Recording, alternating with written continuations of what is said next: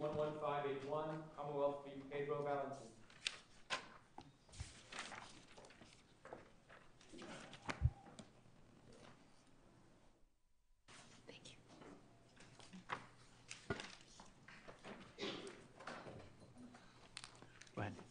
Good morning. Um, my, my, name is Dennis Shedd, and I'm representing Pedro Valentin. Valentin's brother Simon shot Timothy Bond, and Valentin was convicted of first degree murder at a trial at which his right to counsel was violated in two respects. Counsel failed to impeach key evidence offered by the Commonwealth to show that he was a joint venturer, and he was absent at a critical stage of the proceedings. Um, the Commonwealth presented evidence that after Simon shot Bond, uh, Valentin stomped on his head, said die, and then swore at him. That statement gave the Commonwealth direct evidence of the intent required for premeditated murder. It didn't have to rely, as it normally does, on circumstantial evidence to show intent. And while counsel effectively impeached the testimony that he'd stomped on Bond, she made no effort to impeach the testimony about the statement, although she easily could have. Only one witness had testified that Valentin had made that statement, although when that witness spoke to the police on the night of the shooting, he said that Valentin had not said anything. So this isn't evidence that simply raises doubts about the witness's credibility in general. This impeaches direct evidence of the intent elements of the crime, but, a powerful form of impeachment was, that warrants a new trial. There already was evidence that was impeached going to the exact same point. I, I mean, I guess there's sort of two issues. One, one is, yes, it, it's strong evidence uh, suggestive of intent, but so is stomping on the head of somebody who's been shot twice. I agree. I agree. Uh, and, and that she did impeach. That's that, right. That's number one. Number two, um, given that there was, when this was tried, and there was no question that your client was the joint venturer, not the principal, um, uh, the, the definition of sharing intent is fairly broad. So, you know, so, so I guess I'm just wondering, particularly where um, the attorney has states a reason it may not be a terribly persuasive reason but can we say it was manifestly unreasonable to do that and look at whether that a was it manifestly unreasonable? And do we look at that in the circumstances where there was other evidence going to this same point that she did impeach? Well, first, I would, as to the first, I would say her reasons, the reasons she offered for not impeaching the witness's testimony were manifestly unreasonable. And she offered two reasons for that. The first was that she had impeached the witness on two other points. But that does nothing to impeach the testimony about the statement. And in fact, the fact that she impeaches the witness about two other matters, but not the statement, could have left the jurors with, a, with the impression that, in fact, the witness had reported, reported the statement to the police. Secondly, she said that she didn't want to highlight this statement. Well, this statement, direct evidence of intent to kill and premeditation, was going to be highlighted. The prosecutor mentioned it in opening, he brought it out in direct, he highlighted it in, in his closing, and in fact, counsel mentioned it in her own closing, suggesting that Valentin had not made this statement, although she offered no evidentiary support for that position. Now, um, the Commonwealth takes the position that, well, impeaching the statement would have been inconsistent with the alibi defense, but that ignores the arguments counsel, in fact, made in closing. The alibi defense was not particularly strong, and she only mentioned it briefly at the end of her argument. Before that, she had argued that Valentin hadn't stomped on Bond, citing the impeachment evidence she had presented on that point. And she also suggested, as I said, that he hadn't made that statement, but again, there was no evidentiary support for that. So, did you, do you think she would have argued that? Um, I'm just curious. She she argued that there was no that no one stomped on his head, right? Right. So, what would she have argued? That maybe somebody stomped on his head, but they didn't say die? I mean, I'm just. No, she would have argued look, that there's no evidence that, that this person, person was no stomped on the head. There's no evidence of that at all. And there's no statement suggesting, suggesting that he ha had any intent to kill. All that's left, if you take away. If you take but the away. die was the die mother effer was right. on the with the stomping on the head. Right, and and, and as as the ev- argued there was in evidence insufficient that there was any stomping at all. Right. Well, th- it, th- this is two separate things. One thing is he says he stomped on his head and she impeaches that. And then she also says that, that, that, that he makes a statement, die motherfucker, is what she says. But if you take away, if you leave the stomp, if you take away the stomp and leave the statement, that is still evidence of intent to kill and premeditation. Doesn't she argue that he didn't make the statement in her She did closing? argue it, but again, there was no evidence, evidence to support that argument. She hadn't done anything to, to support that argument. So, so Except, except, I assume, brought out in the other witnesses that know that he didn't say anything, right? No, she did not. That the, There was were, no- other witnesses to this stomping, or to this murder? Yes, there were num, there were, there were, there were other, other witnesses. She didn't ask them anything about the- any, any statements there. She had, uh, uh, one witness, there were four witnesses that said he'd stomped on him. Only, only three of them had reported that to the police at the time. One of the, one witness at the time had said that she, that she hadn't even seen a second person there. And all these, uh, these other witnesses bring out these extra statements sh- very shortly before the trial when the person who'd done the shooting was missing. Yet, so it was going to be Pedro Valentin tried or nobody at that point. So very shortly before the trial, three But other the- witnesses the- come the- forward and does the- report this. Was the jury told that Simone was missing? No. They weren't told he was missing, no, but he certainly wasn't there. They weren't told that. I understand no. that, but I don't think we can make a decision based on a supposition that the jury were out to get Pedro because Simone was missing. Well, it was brought out at the trial. These other witnesses added inculpatory details very shortly before trial. And in, in closing, counsel, Stokes, arg- right? counsel argued that, you know, at this point, this man is, is, is the only game in town. That's what, that's what she says in closing argument. So, but again, she, there was no impeachment of the statement itself in this case. And if she had impeached, so the issues before the jury are, one, did he participate? And two, did he share the intent?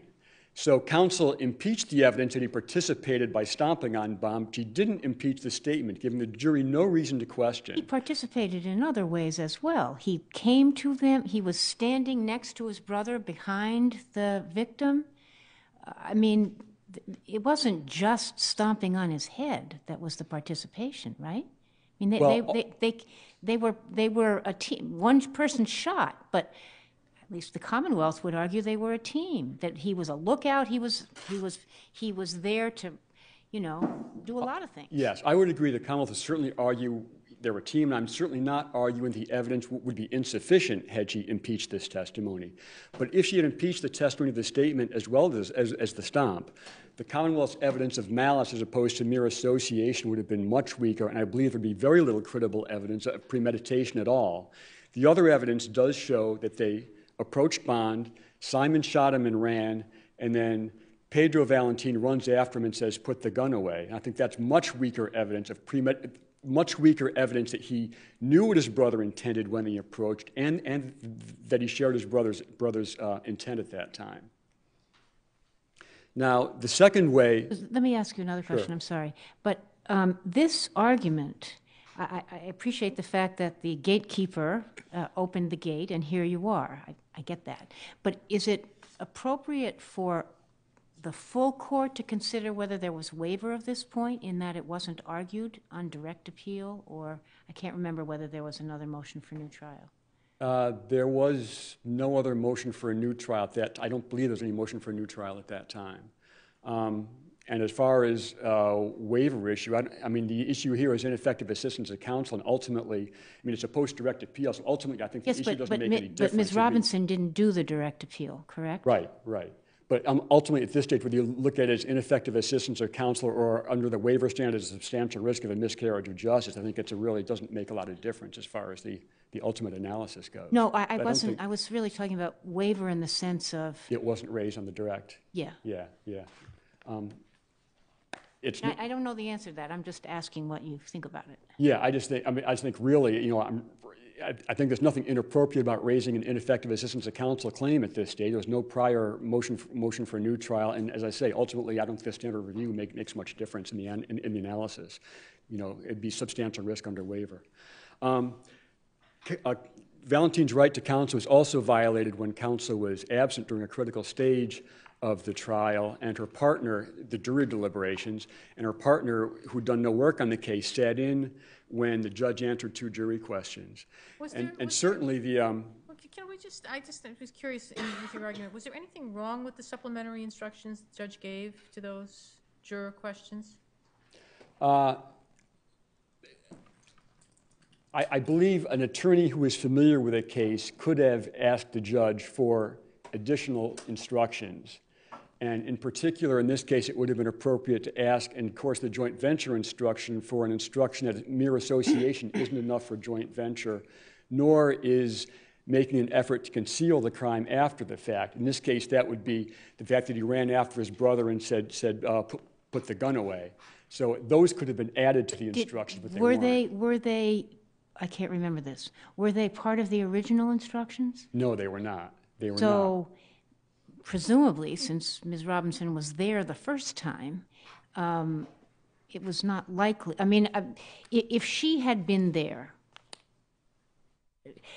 if she had, if she had not gone to Connecticut, but had been there and not her partner, um, since the instructions, in, in, as I read them, were materially the same both times, I'm not sure what the claim would be as to, uh, if one takes the position that this is different from having no counsel, I mean, it just is, um, different from having no counsel. So you have to, I think, look at, does it make it, you know, what, what's different.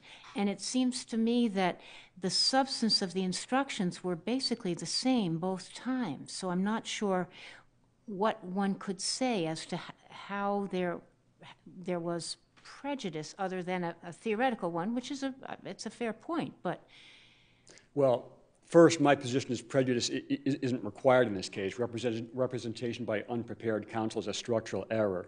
But as far as whether uh, Ms. Robinson could have made a difference if she was there, I will, would note, um, her request for instruction did include the association uh, request. It did not include any request about uh, the fact that um, subsequent efforts to conceal aren't enough.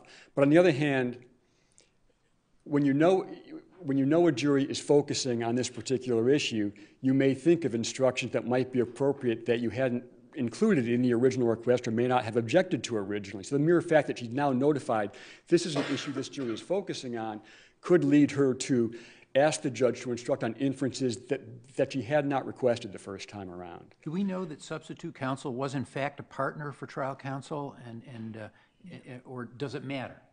Uh, We do know he was a partner, that's in their affidavits that each of them filed. I don't think it makes any difference in this case, really, because, again, he had done no work on the case, he hadn't attended the trial, he didn't consult with counsel about the uh, Well, well, um, they had talked about the the case. They had talked about the case. He wasn't coming in there with zero knowledge of the case. Right, I mean, there's no, in, it, there's nothing to suggest that his knowledge of the case was anything more than partners in a firm talking generally in, you know, at, at lunchtime at what cases they're working on. It's not any detail, it's clearly, he doesn't have detailed knowledge of this case. He's not like he's read the, read, uh, read the police reports and the transcripts of the grand jury and all that. He admits, he had, they both write, he had done no work on this case. He Mr. hadn't Shedd, attended the trial. Excuse me. Getting back to your effort to uh, treat this as structural error, uh, the cases that you cite all involve uh, circumstances where there was no one present uh, representing the defendant. That's not what we have here. Right. So how do you make this a case of structural error such that you can bypass the prejudice analysis if your case is so different from all of these other cases? I would, there is, um, let me just check my notes here for a second. The, the, the Cronic is, is, I think, the person was there, I believe. Cronic Yeah, there was, um, I get, the reason I get the structural errors, it- some of the language here, I'm Cronic, in this third, I'm arguing this falls essentially under the third prong of Cronic, which is that there are some situations where the likelihood that an attorney could give effective assistance is so small that a presumption is appropriate. And in the earlier prongs of Cronic, they don't require simply a, a lack of representation throughout trial. They look at whether there's a lack of effective represent, a, a lack of effective representation at a critical stage. And in this case, the reason I say a presumption of prejudice is, is, is appropriate is that the jury is asking for help with an issue uh, on which they're focusing. And to determine, to form a position as to what response a judge should give to the question requires a knowledge of the issues raised by the facts of the case. An attorney who hasn't been involved with a case, who doesn't know all the facts and the issues involved, is in no position to do that. And in fact, it's not apparent here that counsel's partner uh, thought that it was his role to think independently of what objections or requests he should be making. At the end, he simply says, I wasn't here for the initial charge, but I want to preserve any objections counsel made. And here, um, I see my time is up. Just one brief point. You know, we don't know what the jury thought when they came down, saw Ms. Robinson was gone, somebody they'd never seen before is sitting in for her, there's no, no explanation for offered. It could have appeared to them as though, you know, she thought the case was hopeless and just le- left her client, abandoned him. But uh, ultimately, I think my position is that this is a critical stage, and you, and you need some knowledge of the case, more than her partner had at this point, to effectively decide what the judge should, should, should do in this kind of circumstance. And I've, uh, my time is up, so I will rest on the remainder of my brief, as far, but particularly as regards the Article 12 argument. Thank you, counsel.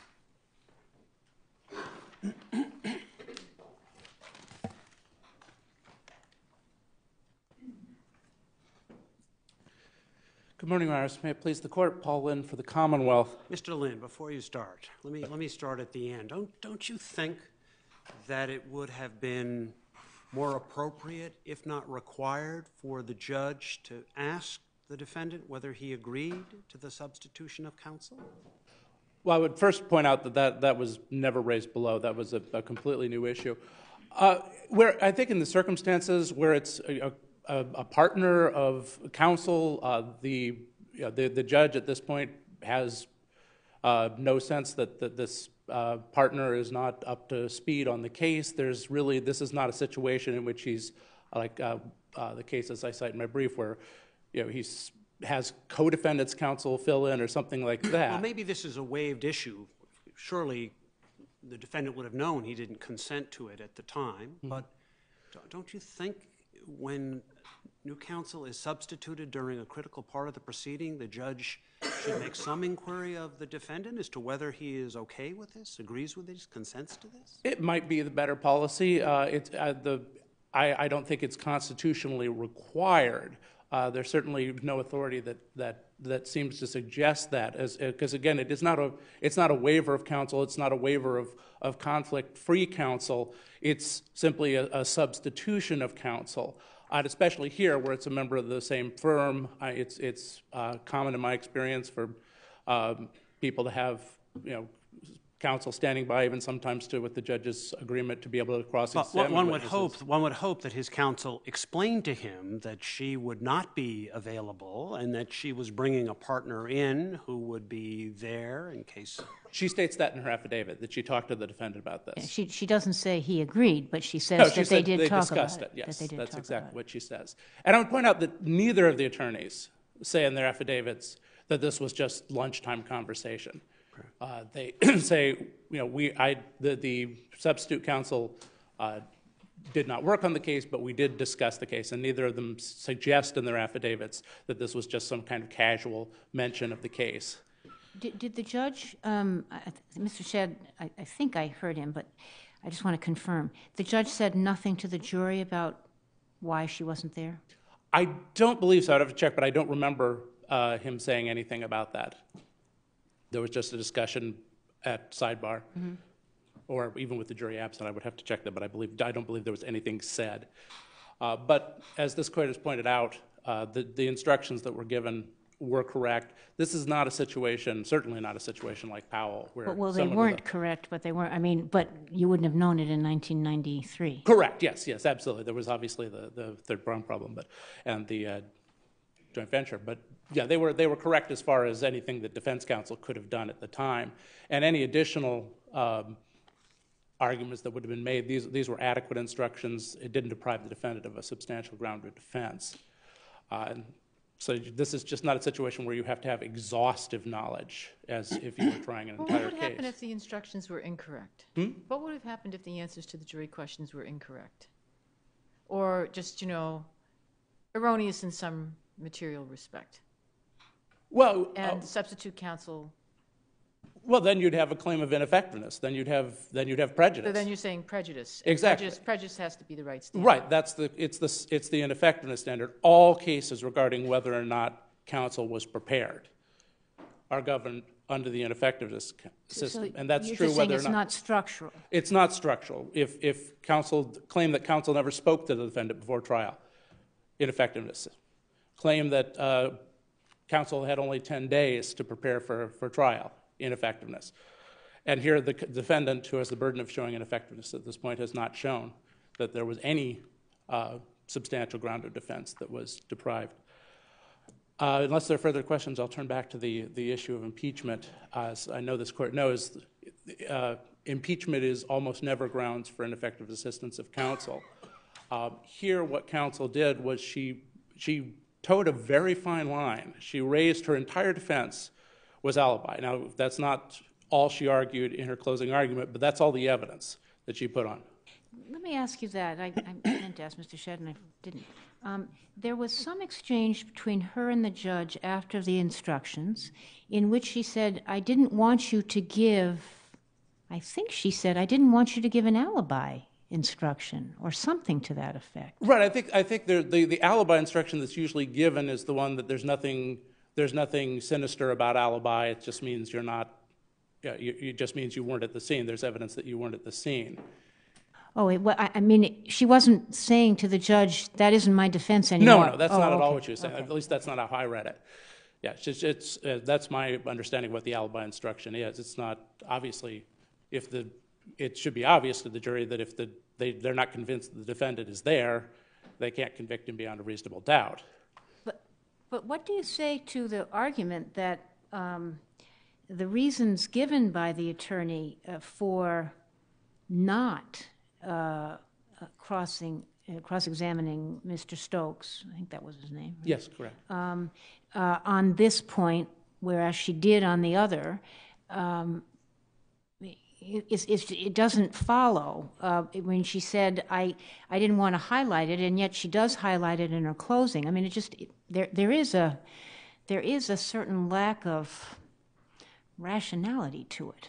Yes, and this brings me back to my point, is that she really had to toe a fine line, and I would disagree that she highlighted it. She makes a, a very offhand comment about it. She's saying, look, all these witnesses, they're making up facts as they go along.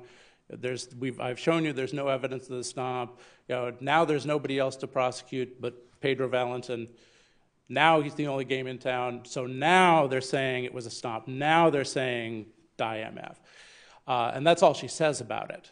So it's not really a matter of highlighting it. And she has to, she has to finesse this because if the jury gets the impression that she's hedging her bets, that's going to look bad in the jury's eyes. So she does this all under the rubric of impeaching the witness's credibility, which was a, an excellent strategy. But she has to be very careful not to go overboard on that, because if she does, the jury's going to say, wait a minute, she's, a, she's now she, that's not consistent with her alibi defense. Now she's talking about what this guy who isn't even supposed to be the defendant did. Um, uh, would an, an, another attorney have cross-examined on this statement? Perhaps, but the question is, was it manifestly unreasonable without the benefit of hindsight for counsel not to do this? Stokes was the only one who said that he had said this. Correct. None of the other witnesses, and I mean, that's not, I, I'm not sure counsel, I don't believe counsel actually affirmatively pointed that out, but none of the other witnesses heard him make any statement, heard the defend, made the other man, the, who's, uh, was identified as the defendant. And there's no the question that there was uh, information in the prior interview that Stokes had given, that Stokes had said that no statements were made. Correct. So what was the, re- what, what reason would there be for not asking Stokes about that? Why wouldn't you want to impeach his credibility on that? Well, he's, he's, his, impe- his credibility was impeached at length. Uh, it- the, the reason is because if you concentrate too much on, But it was impeached at length anyway. right, So how was it focusing too much to do one more obvious question? That's, that's, that was a question of strategy. How, how far can I go before the jury says, wait a minute? And the, that's what defense counsel says in her affidavit, is this is the point. I didn't think I wanted to go one step further. I thought you know, I'd done, I'd done my job. I've showed, I'd shown he was a liar. I think that's a point too. It's, it's, the counsel argues that, well, if they, if, if he point, if counsel pointed out that he hadn't made certain statements or he changed certain statements, but that he did, uh, counsel didn't point out that Stokes hadn't made this statement, that means they believe, oh, he must have made that. But my position is, counsel pointed out that Stokes was lying, that Stokes was making stuff up. And it wasn't likely that the jury's going to say, oh, this guy's making stuff up. So therefore, I'm going to believe something else that he said. When she impeached him uh, extensively on, t- as to other matters, did she do so on the basis of self-contradiction? Like the, um, like would have been the case with this Yes, prior interview? yes. They Things, had- things He he hadn't hadn't said. said it before. Yes, I believe so. I'd have to double check, but I'm almost certain she, she pointed out things that, that were inconsistent with his, with his statement to the police.